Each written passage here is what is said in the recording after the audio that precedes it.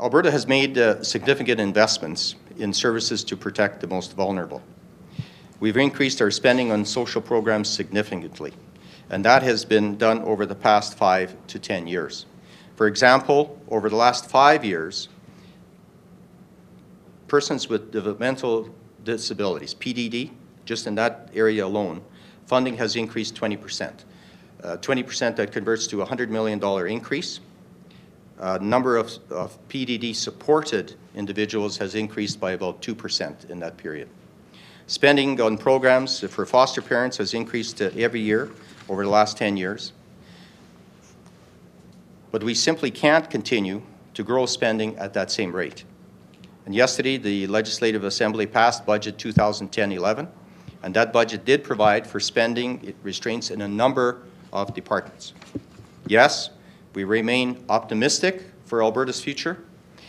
However, we are just starting to emerge from the global recession, and all Albertans, all Albertans have tightened their belts. Budget 2010 meant our government made some tough, tough, tough choices, tough decisions, but we minimized the impacts on programs uh, that deliver uh, services to the most vulnerable.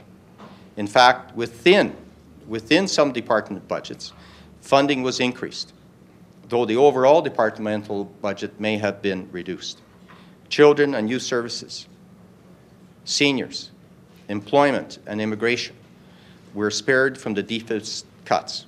However, holding the line or even modest reductions in these departments will have an impact on the ability of those departments and agencies to deliver services. Over the past year, we've been talking to delivery partners about how we can seek efficiencies and minimize the impact to clients. Our goal is to tighten spending from administration wherever possible. We recognize that it may mean some rationalization of services, and it may mean some services are reduced. But we have chosen a balanced approach. The balance, we've used the Sustainability Fund it's our cash surplus fund that we've set aside so that, uh, you know, we're going to dip into that fund so that we do not have to eliminate important programs. But we still have to be careful with our dollars. Now, core programs are being protected, but there may be some programs or services that will be impacted. But my objective, and those of the ministers, is to take whatever steps we can to minimize the impact to clients.